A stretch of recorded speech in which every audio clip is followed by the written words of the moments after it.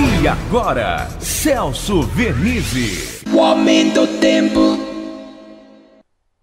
Olá, amiga, olá, amigo. Depois de uma infiltração de umidade sobre as praias, principalmente onde as montanhas, a serra avança em direção ao mar, tivemos aí a presença de também alguns nevoeiros prejudicando a visibilidade, mas tudo isso passa e o sol predomina e vai esquentar para valer.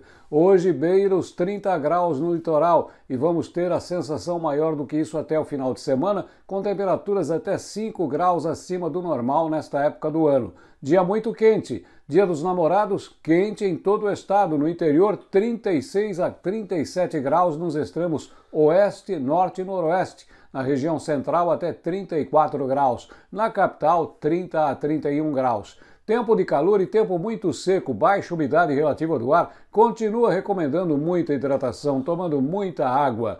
Tempo vai continuar seco assim e o calor pelo menos até o finalzinho do outono, no dia 20. Um abraço a todos.